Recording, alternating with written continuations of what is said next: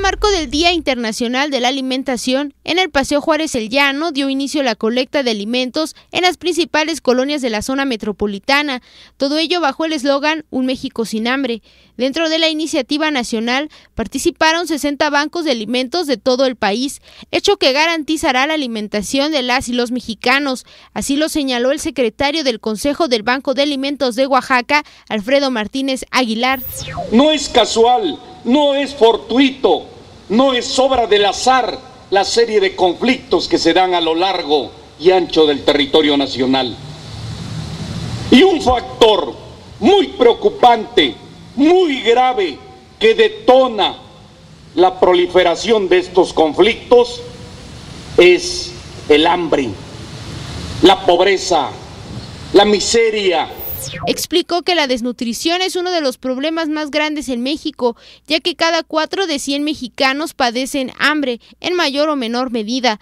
Añadió que esto se convierte en un asunto que compete a las autoridades federales. Pero lo más grave, lo más criminal es que 30 mil toneladas mensuales de alimento, digo, perdón, eh, diariamente se tiran a la basura. 30 mil toneladas diariamente se tiran a la basura. Esto es un crimen de lesa humanidad.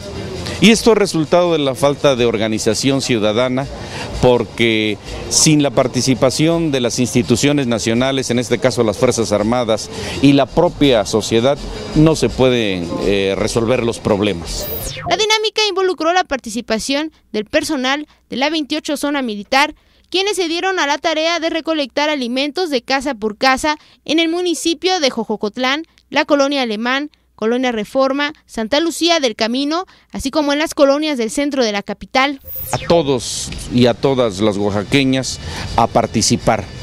Eh, particularmente a aquellos que gracias a su trabajo, a su inteligencia y a las oportunidades que la vida les ha dado cuentan con mayores recursos. Para ellos no significa ni representa ningún costo mayor aportar un poco más de lo que lo hacen los demás.